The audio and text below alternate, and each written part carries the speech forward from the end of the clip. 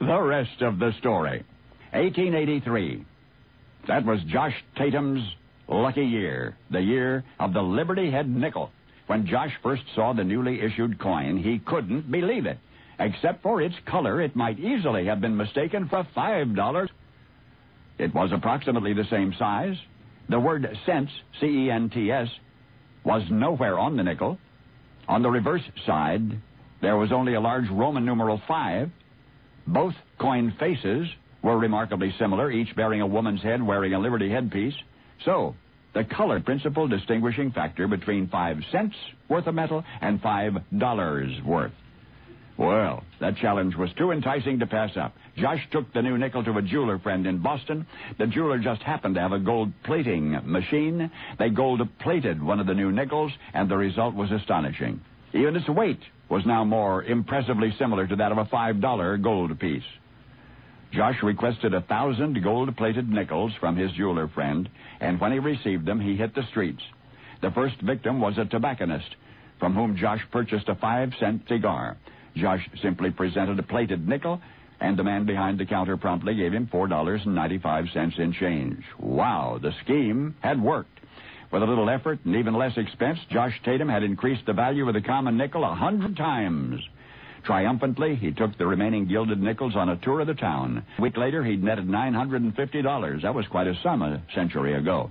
And while Josh had been making change, his jeweler friend had been busy plating more nickels, 5,000 more. So Josh took those, made another even more lucrative excursion, this one through the towns between Boston and New York. Occasionally, a sharp-eyed shopkeeper would grow suspicious, and yet the current date on the coin suggested that the United States Mint had issued a slightly variant design. Josh was not caught until one day. After the story hit the papers, hundreds of Josh's victims stepped forward to accuse him.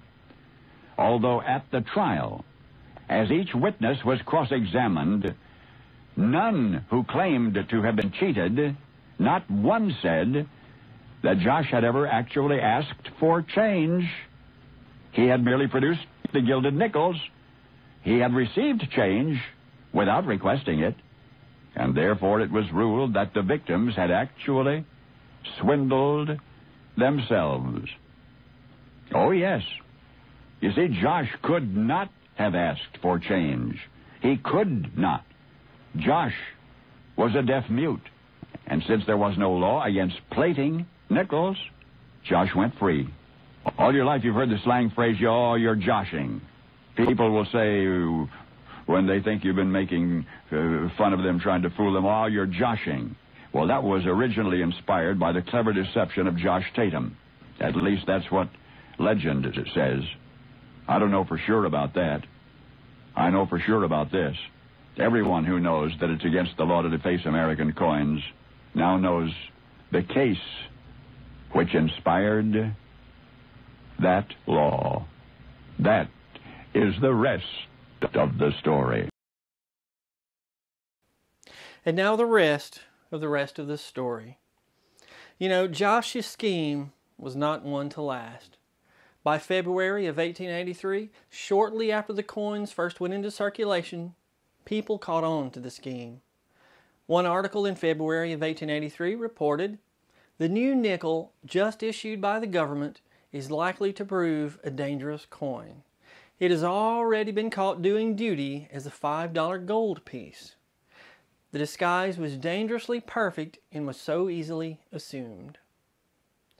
Newspapers wanting to warn shopkeepers to watch out for the counterfeit coins inadvertently explained how to produce the counterfeit coins.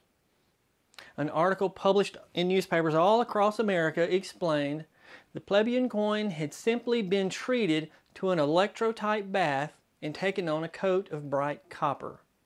It had all the luster of royal metal, and nine out of ten men, if their attention had not been directed to it, would have accepted it for gold. Almost as if wanting to entice others to counterfeit the coin, the article continued. It happens that the $5 gold piece and the nickel are precisely of a size. It also happens that the faces on the two coins are so nearly alike that only one who is accustomed to handling the two would be apt to detect the difference. The head of Liberty on the nickel is larger than the one on the gold piece, but the same young lady with the Grecian profile seemed to have sat as the model for both. One distinguishing feature between the 5 cent coin and the $5 coin is that the $5 gold piece had a milled edge while the nickel was smooth. Why were these two coins so alike?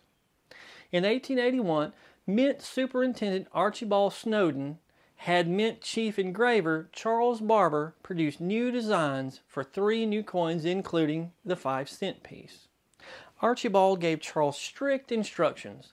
Number one, the head side of the coin would have the head of Liberty with the legend Liberty and the date. The tail side of the coin would have a wreath of wheat, cotton, and corn around the Roman numeral V, designating the denomination of the coin. United States of America and E pluribus unum would eventually encircle the wreath. The design was approved by Treasury Secretary Charles J. Folger, and minting the new coins began on January 30, 1883. Two days later, February the 1st, the coins were released into circulation. It took less than three weeks for the whole country to know just how easy the coins were to alter. Because of the omission of the word cents from the back of the coin, its interesting history, and its removal from circulation to prevent future fraudsters from taking advantage of the oversight, the 1883 Liberty Head nickel is a rare coin.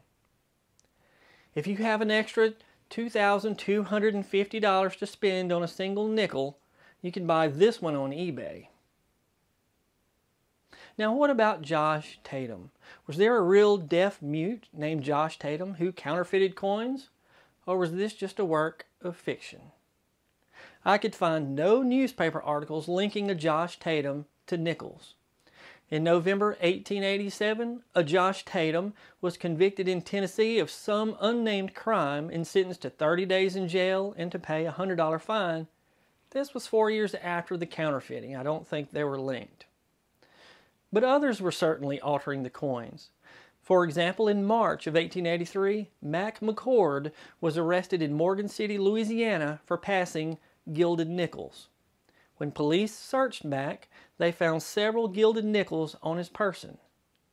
In the same month, John Williamson and Arthur Seegers were charged with the same crime in St. Louis, Missouri.